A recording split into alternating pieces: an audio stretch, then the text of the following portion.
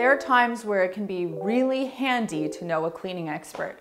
I think it's safe to say now is one of those times, and fortunately for you, you do know a cleaning expert, me. For those of you that don't know me, my name is Melissa Maker. I've been in the professional cleaning space for over 13 years. And today I'm gonna share with you some important information about cleaning and disinfecting and how to stay safe and healthy during cold and flu season. I want to preface anything that I say by letting you know that my job is to stay in my lane. I will talk about what I know and I will stop where I don't. And at that point, I'm going to encourage you to check out other websites that have lots of well-researched information about topics that you might be curious about that I can't speak to, such as the CDC, the WHO, and your government health agency. So without further ado, let me get into some cleaning and disinfecting information. I want to start by covering off some words that are used interchangeably but shouldn't be. Those words are cleaning, sanitizing, and disinfecting. And if you can think of a stoplight, it will help you remember what each of these words mean so that you can use it correctly and you understand what you're hearing. Cleaning, let's call that green. It's easy. We clean to basically take care of our surfaces. We're not worried necessarily about bacteria on the surfaces. It's more about dust and dirt and making sure that they look nice and shiny. Yellow light is sanitizing. Now sanitizing is what we do to kill a certain amount of disease-causing microorganisms on a surface and that level is generally set by public health agencies and it's designed to keep you and I healthy and safe when we're out and about which is why often in restaurants or public spaces you'll often see or hear sanitizing or sanitized. Now disinfecting is red. Disinfecting is where the goal is to get rid of all disease-causing microorganisms on a surface using a disinfectant, which would either be a chemical or heat or some other type of product or chemical or method to get rid of bacteria. Now there are two types of disinfectants that we can get our hands on. The first hospital grade disinfectants, which clearly are used in hospital settings. The second, general disinfectants, which you and I can buy in store. This probably begs the question, when should I clean and when should I disinfect? Let me make it simple for you. When you're at home, just kind of doing your regular cleaning, typically speaking, you don't have to think too much about bacteria. I'm gonna give you the circumstances where you have to, but when you're doing your regular cleaning, a regular cleaner, soap and water will do. For those of you that know me, you know I often talk about making my own all-purpose cleaner, two cups of water, a half teaspoon of dish soap, a few drops of essential oils. I constantly have that in rotation at my house, and that's what I use to clean the majority of surfaces in my home on a regular basis. And we're pretty healthy over here, aside from my daughter who's at daycare, in which case we deal with a couple colds here and there. Now the times that we wanna focus on disinfecting at home would be as follows. First of all, after meat prep happens, I look over here because my cutting board is over here, any surface that you use, including the sink, cutting boards, knives, anything that you're using to prep meat, you wanna make sure that you're disinfecting afterward. An area where there's a high chance of bacteria being exchanged like a bathroom, that's a really good area to focus on disinfecting on a fairly regular basis. Other times you'd wanna make sure are when people, you either think they're sick or you know they're sick. So when someone's at home or someone comes into your home and there's an illness, it would be those times where you want to break out the disinfectant, as well as if there's someone at home who is either immunocompromised or somebody who might have a chronic health condition, that is another time that you would want to think about making sure that you're disinfecting most, if not all surfaces in the home, because bacteria is not good for their system. For the rest of us, day to day, when everyone's feeling pretty good, Regular bacteria that you find at home is good for your system. It helps build up your immunity. But of course, when there's a cold or flu or other virus that comes into play, that's when you want to amp it up and get out your disinfectant. So now that we know where to disinfect, it's important to know how to disinfect. That way, when the time comes, you'll know that you're doing it properly and correctly. I want to introduce you to a concept that we in the cleaning world know about, but most people out there don't, and that's called the two-step disinfecting method. And what this means is any surface where we suspect there's bacteria or a microorganism on there that we're concerned about, we have to actually clean that surface first before we apply disinfectant.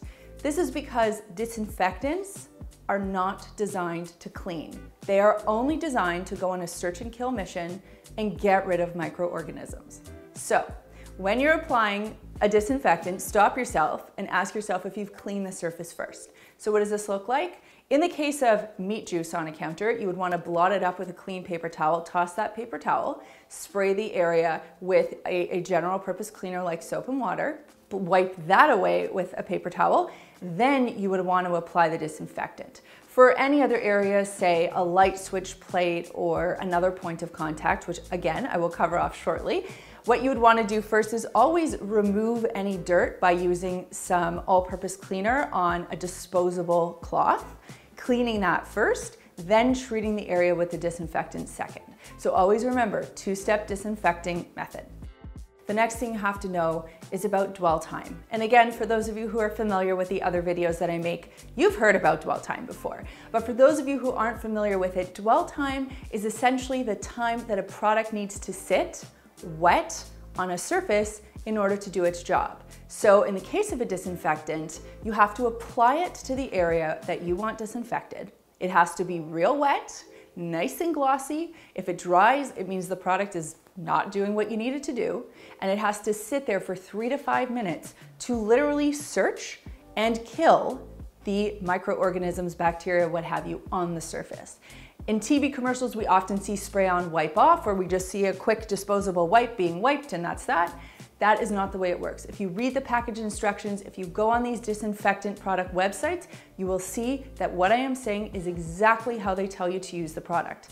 And just because you're using the product does not mean you're disinfecting. You have to use it properly. On the topic of disinfecting wipes, I think there's a lot of confusion about how to properly use them. I also wanna make very clear baby wipes, makeup remover wipes do not disinfect. Your wipes have to say that they are disinfectant wipes in order for them to do the job. Now you'll probably notice when you pull a wipe out of the container that they are sopping wet and you want them to be wet because like we've already talked about, if they're dry, they're not going to be able to search and kill bacteria. What you constantly want to do is check in on that surface and make sure that it's wet.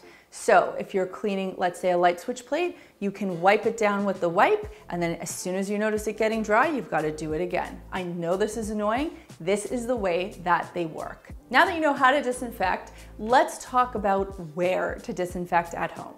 So the first thing you wanna focus on are points of contact. Anything that you are touching, anyone else is touching, and that's a surface that is constantly being touched where bacteria can be exchanged. Anything like doorknobs, light switch plates, keypads for locks or alarms, faucet handles, toilet flushers. So again, anything that we are constantly touching.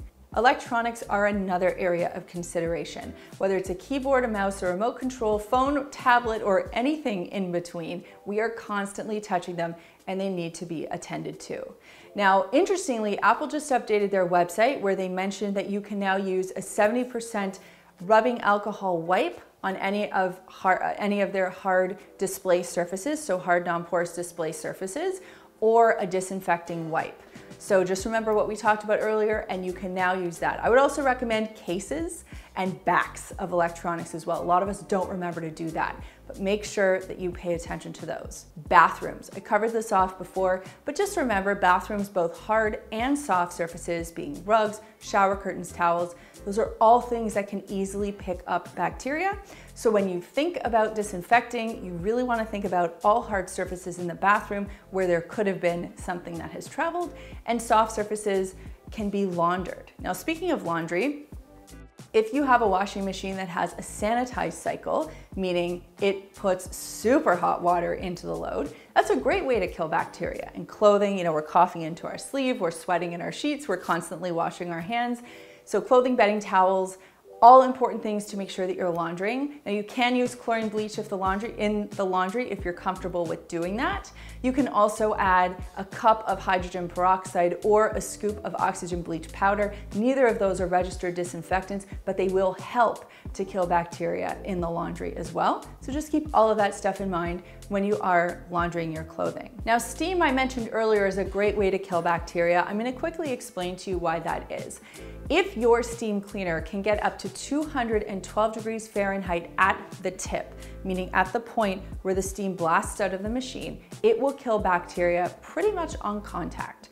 You can use a steam cleaner on hard surfaces like counters or soft surfaces like pillows and upholstery and blankets. So they really are terrific and handy to have around the house. They're a bit of an upfront investment, but once you have them, oftentimes they'll double as a garment steamer and they really come in handy, especially in times like this, and especially if you're someone who doesn't like bringing too much product into their home.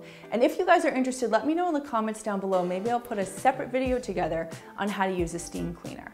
We also have a video up on how to make your own DIY hand sanitizer following the latest recommendations. So I'll link that for you down below. And I'll also let you know that we have some other pertinent links for you to check out. We have a healthy cleaning playlist on our YouTube channel, so you can check that out. And we'll also put links to the CDC and the WHO down there so that you can get the most up-to-date and current information. I just wanna tell you that everything I'm sharing is up-to-date and current as of today, and I will do my best to update you if anything should change.